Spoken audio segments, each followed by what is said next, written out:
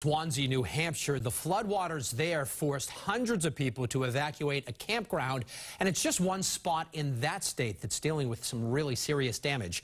WBZ's Christina Hager is live for us in Winchester, New Hampshire tonight. And Christina, I know the governor, Chris Sununu, came out to see the destruction firsthand. Right, David. So right now we're on Route 10, and this is typical of what we've seen across the area, a road crew here. This road runs alongside a body of water called Forest Lake behind this home.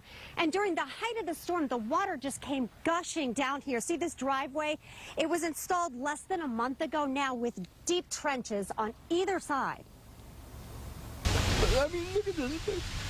I got over 300 yards of crushed stone in here. Tracy Paquette devastated as he looks at his backyard property. Usually I, there was a wall across here. Torrential rains broke a beaver dam behind his home. The stream was just rushing. I couldn't even open that door.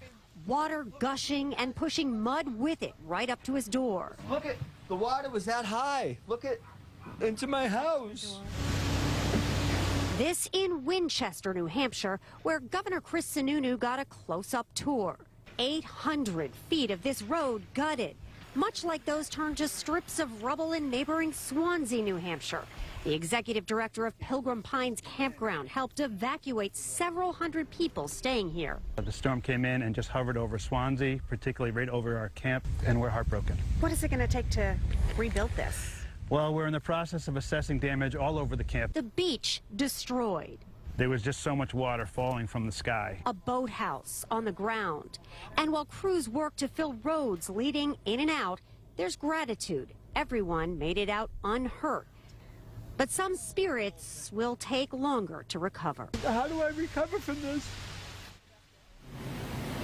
Road closed. These signs are just all over this region, not only here, but over the state line into Vermont. And Governor Sununu has said he is now extending New Hampshire's resources to help over in Vermont as well. Live in Winchester, New Hampshire, Christina Hager, WBZ News.